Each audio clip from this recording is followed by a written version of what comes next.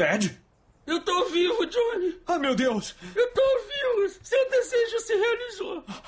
Você voltou? Eu... É, quando vocês me costuraram, colocaram enchimento nos lugares errados, então eu tô meio esquisito. Mas você vai cuidar de mim o resto da vida, não vai? Ah, eu tô zoando. Eu achei que ia ser engraçado bancar o retardado. Ah, mas que filho da mãe! Me abraça, moleque. Oh.